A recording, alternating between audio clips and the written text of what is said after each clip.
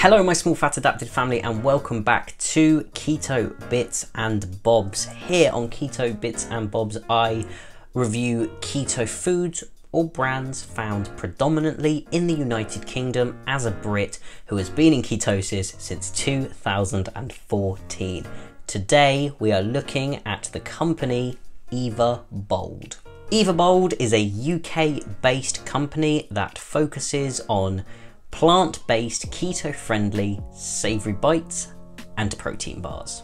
Evabold were kind enough to give me their products in return for a fair and honest review, so thank you, Evabold. So let's look at what Evabold has to offer as of early 2022. So in terms of their savoury bites, there are three flavours. Black onion seed, is rosemary and pink salt, and there's za'atar. And in terms of their protein bars, they currently have two flavours, which is salted caramel and coffee mocha.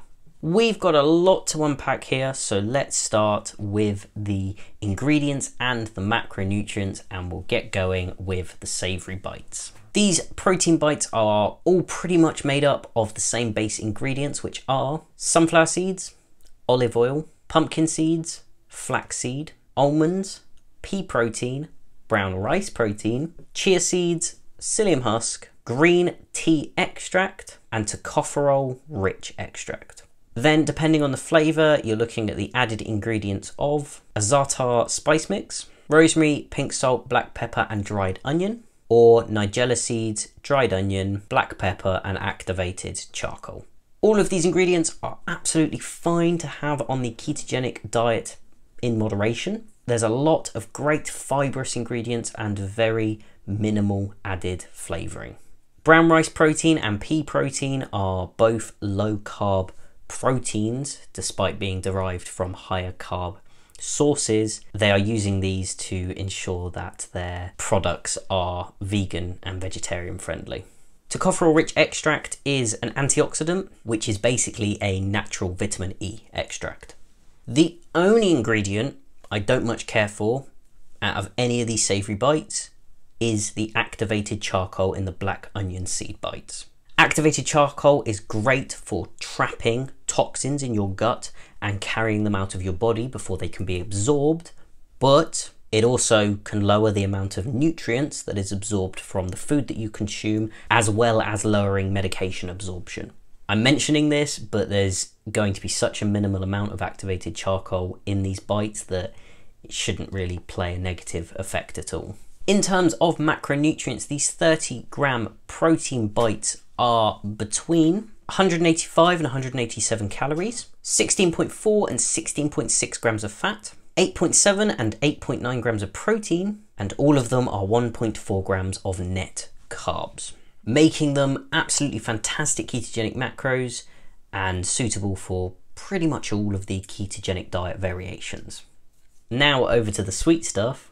When it comes to Evabold's protein bars, both of the bars are made up of peanut butter, erythritol, stevia, inulin, which is also sometimes known as chicory root fiber, cocoa mass, pea protein, protein crispies, which are made up of isolated soy protein, tapioca starch, and salt, and both bars have coconut oil. Then there is an addition of either dried coffee powder for the cocoa mocha bar or natural flavouring for the salted caramel bar. In terms of the sweeteners that are being used, erythritol is a sugar alcohol with a glycemic index of about 1, meaning that it absolutely should not raise your blood sugars. Stevia is a natural sweetener with a glycemic index of 0, meaning it will not raise your blood sugars. And inulin is a fiber with a glycemic index of 0, meaning again, it won't raise your blood sugars. Evabold are using some of the best sweeteners that you can have on the ketogenic diet in their protein bars. And the only other ingredient that I feel is important to mention is the tapioca starch in the protein crispies. Tapioca starch is pretty high in carbs, but it's being used as a very, very minor ingredient to help bind together the protein crispies, which themselves are a pretty minor ingredient. So, in terms of the macronutrients of Evabold's protein bars, both 40 gram bars are 168 calories, 11.4 grams of fat, 10 grams of protein, and 2.4 net carbs, making them great protein bars for keto diet followers. And that leads us into probably the most important question. How do Eva Bold's products taste? All of the savoury protein bites are little bites that hold their shape really well, as in they don't like fall apart and crumble in your hands. When you bite into them, they're lovely and crunchy, and they've got distinguishable different sort of seed textures depending on which flavour you're eating. And I find that all three of the flavours do have a slight oat cake texture to them, which I really liked. The black onion seed bites are the only ones that differ slightly in texture, as they are thinner and less seedy. These ones feel more like a traditional cracker that needs to have slices of cheese or something on them. When it comes to flavours, the za'atar bites had a sort of umami taste to them, as the spices were quite hard to identify independently. The rosemary and pink salt bites had an almost bitter rosemary that was complemented with a kind of sweet tasting salt. And the black onion seed bites had a very subtle sweet onion aftertaste. Otherwise, I thought that these bites specifically tasted more like kind of just like flax seeds. All of the flavours are completely palatable, but I do find them to be quite subtle. So, whilst I did find these bites pleasant on their own, I think they would be far more suited to being additions in your salads or your soups, giving them just a little bit of a different taste and specifically texture, like low carb crouton alternatives. The only sort of con I have for these savoury bites is that they made my mouth feel quite dry afterwards, so I recommend having a drink with you when you consume them. Now, when it comes to Eva Bold's protein bars, the texture of Eva Bold's protein bars are different to any other protein bar I've had before, and I have had a lot of them. And I will tell you now, I absolutely loved the unique texture. Imagine the texture of a Quest bar, so that sort of very condensed brownie feeling. Except when you bite into a Quest bar, it's very dense and it slowly becomes very chewy and it's very difficult to get through. Eva Bold's protein bars initially have that sort of dense quest bar feeling to them. But when you fully bite into them, they turn into like fine crumbs in your mouth, making them not only far easier to get through, but also kind of feeling like the base of a cheesecake, I guess, like a no bake cheesecake. As well as this very unique texture you also get little pockets of crunchiness like Rice Krispies from the Protein Krispies. These bars I found to be a really interesting textural experience. And the flavours, both of the bars had a lovely level of sweetness, A little bit less sweet than other commercial protein bars, but still sweet enough to taste like a dessert.